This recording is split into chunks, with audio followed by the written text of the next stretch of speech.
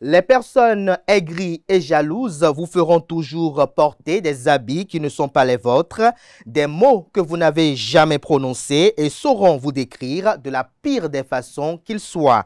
Pourquoi alors avoir peur de leur jugement car ils auront toujours à dire quels que soient vos comportements? Si vous restez là à les écouter, vous ne vivrez jamais comme vous le voudriez. Souriez parce que vous êtes ce qu'ils ne seront jamais.